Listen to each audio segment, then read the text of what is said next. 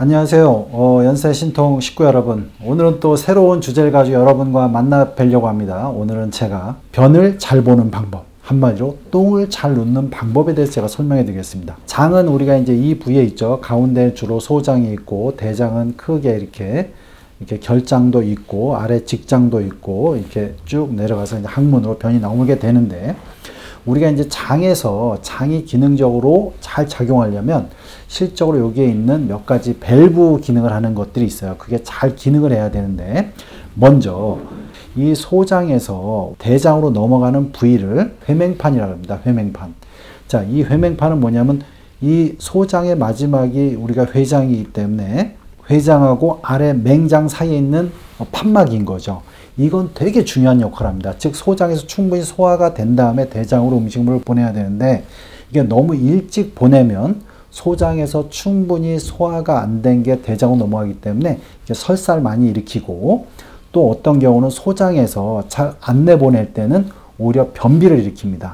자, 이런 회맹판의 기능은 뭐에 의해서 조절되냐면 물론 자율신경에 의해서 조절되는데 이 회맹판에 영향을 주는 물질들이 있어요. 대표적인 물질.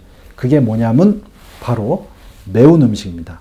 매운 거, 향신료, 후추 이런 것들이 회맹판에 되게 많은 영향을 줘요. 그러니까 이런 분들이 주로 매운 걸 먹으면 좀 있으면 이렇게 막 설사할 것 같고 배가 많이 아프신 분들은 회맹판 기능이 떨어진 거고 특히 회맹판이 열린 회맹판이 돼서 소장에서 음식물이 충분히 소화가 안 되고 매운 거에서 회맹판이 자극이 돼서 바로 대장으로 넘어가면 대장벽을 자극하면 설사가 나는 거죠.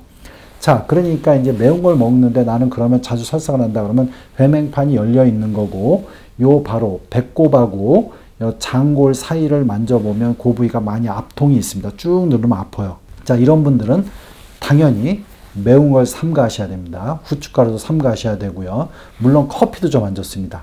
근데 일단 할 수 없이 매운 걸 먹었다. 그럴 때는 회맹판이 아까 열렸다 그랬죠.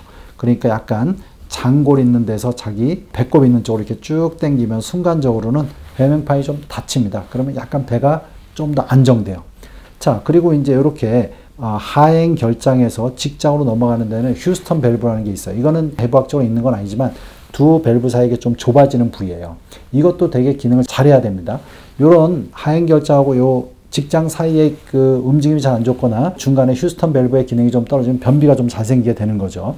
그래서 이런 밸브의 기능이 좋아져야 되는데 이런 거에는 아까 같이 다 매운 음식이나 이런 게 영향을 주고요. 아까 매운 거는 열린 회맹판에 영향을 많이 준다는데 기름진 음식을 먹으면 사람이 이제 본능적으로 기름진 거는 충분히 소화한 다음에 대장으로 내보내려고 합니다.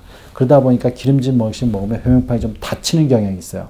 이걸 닫힌 회맹판이라 합니다. 닫힌 회맹판이 되면 약간 변비가 잘 일어나요. 그럼 변비가 많이 되면 실적으로 오래 변이 어, 머물러져 있기 때문에 독소가 쌓이는 거죠. 이건 독소가 쌓여서 또 문제가 돼요. 자, 이런 분들은 다 장에 밸브 기능과 먹는 음식의 문제고 그런 게 이제 자꾸 이제 회맹판 기능이 떨어지면 뭐 허리에 좀 디스크도 잘 오는 경향이 있고요. 왜냐하면 장의 염증은 전신적인 염증을 만들기 때문에 어깨나 테니스 엘보 이런 게 잘 옵니다. 먹는 걸 주의하셔야 되고 자, 또 하나는 이제 우리가 이 장이 아무리 이제 먹는 거 이런 거 매운 걸 조심하셔도 수분이 적으면 장이 잘 안 움직입니다. 그래서 여러분들이 수분을 충분히 드셔야 장이 이렇게 움직일 수 있는 조건을 만들기 때문에 수분을 충분히 드셔야 된다는 걸 꼭 알고 계셔야 됩니다. 여러분들이 주로 장 기능이 안 좋을수록 수분을 더 안 드시게 돼요. 왜 그러냐면 장벽은 뭐 원래 물을 흡수하는 기능이 있는데 장벽의 기능이 떨어졌기 때문에 수분을 흡수 안 하니까 우리가 물을 많이 먹으면 오히려 약간 배탈이 날 것 같고 실적으로 설사를 하고 이렇게 되는 겁니다. 장 벽이 안 좋으신 분들은. 그렇기 때문에 결론은 물을 더 안 먹게 되는 거죠. 근데 몸에 전체적으로 보면 수분이 떨어진 거예요. 그러니까 좀 따뜻하게 장을 적게 자극하면서 물을 좀 드셔야 돼요. 그래서 이제 수분을 충분히 드셔야 되는 거. 또 이제 우리가 이제 장이 결론적으로 이렇게 움직이려면 어, 섬유질이 많이 들어와야 됩니다. 섬유질은 바로 흡수가 안 되기 때문에 장의 이런 충분한 볼륨을 유지해서 변의 양을 충분히 만들어서 이제 장의 운동을 촉진하는 거죠. 그래서 이제 섬유질을 또 드셔야 된다는 게 되게 중요합니다. 또 이제 중요한 게 뭐냐면 장도 우리가 먹다 보면 일상적으로 먹는 여러 가지 가공식품 같은 경우들이 안 좋은 균들을 자라게 하기 때문에 우리가 가능하면 현대 생활 속에서는 프로바이오틱을 이용해서 좋은 균들을 주기적으로 넣어주는 게 중요합니다. 그래서 우리가 뭐 어, 프로바이오틱을 뭐 좀만 먹는 게 아니라 매일 먹어야 된다라고 이렇게 생각하는 분들이 많은데 실적으로 우리 현대 식단이 그러기 때문에 프로바이오틱을 계속 먹어야 되는 겁니다. 물론 산속에서 좋은 음식만 먹고 주로 야채 위주로 먹고 잘 발효된 음식을 먹으면 안 먹을 수도 있겠죠. 근데 현대 생활은 그렇지 않기 때문에 실적으로 이제 프로바이오틱을 먹어야 되는 경우가 되게 많습니다. 또 하나는 이제 마지막으로 어떤 몸에 알러지, 안 좋은 음식이 자꾸 들어오면 알러지가 생기는데 장에 알러지 생기는 경우에 상당수의 원인은 위의 문제인 경우가 많습니다. 특히 위산이 잘 분비가 잘 안 되는 사람들, 제산제를 많이 쓰는 사람들 이런 경우는 위에서 산이라는 게 단백질을 분해하는데 분해를 안 하기 때문에 분해 안 된 단백질이 대장으로 넘어가면 장벽을 약하게 하고 장 누수증을 만듭니다.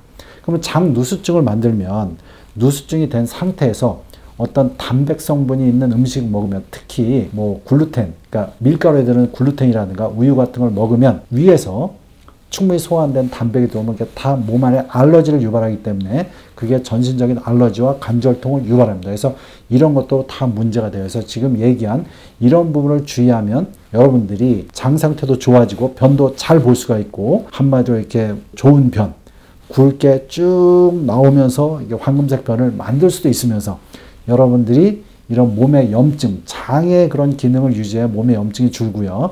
여러분들이 그렇게 잘 유지하면 염증이 줄기 때문에 여러 관절의 이런 통증이나 이런 부분도 같이 줄일 수가 있습니다.